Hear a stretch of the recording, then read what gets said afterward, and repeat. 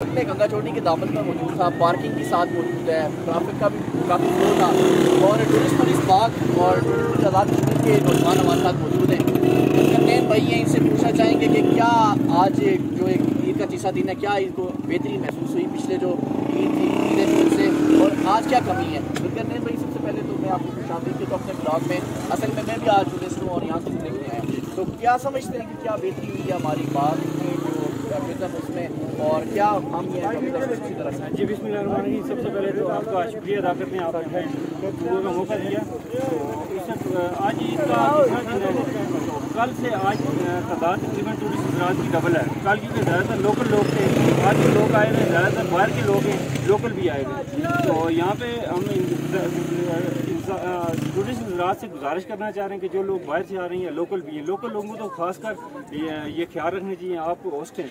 बाहर से लोग। आप अगर कोई बदनजमी करने की कोशिश करेंगे या इंतजामिया के साथ अगर आप तावन नहीं करेंगे या इंतजामिया के साथ कोई बहस और तकरार करेंगे या हमारे पुलिस वाले मौजूद हैं थाने पुलिस उसके डिस्ट्रिक्ट पुलिस हैं और ट्रैफ़िक पुलिस वाले ये नीचे जितने मोड़ हैं ये हर मोड़ों में खड़े हैं और बता रहे हैं कि भाई आप इधर गाड़ी पार्क ना करें आप ऐसे करें कि रोड में रोड से हट के चलें और वहाँ पे रोड को क्लियर रखें।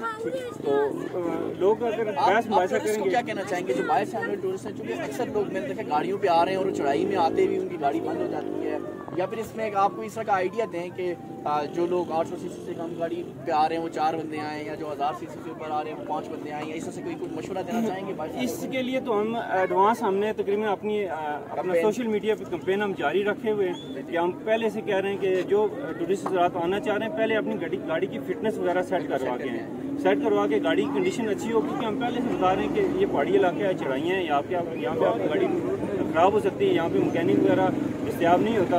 तो आने से पहले आप ये सारी चीज़ें आप देख लें। एक एक और मैसेज हम टाइम को देना चाह रहे हैं कि बहुत प्यारी जगह है यहाँ पे कचरा मत करना है आप जो रैपर लेके आ रहे हैं वो वापस लेके जाएँ और उसके ऊपर मैंने वीडियो भी बनाई है। मैं टूरिस्ट से भी ये बड़ा बड़ी हम्बल रिक्वेस्ट करना चाहूँगा कि आप लोग जो अपने साथ रैपर और जो चीज़ें आप साथ लें डिस्पोज ऑफ़ करके जाएँ पहली बात अगर साथ लेके नहीं लेके जाना चाहते नहीं तो अच्छी बात है कि आप वापस लेके जाएँ।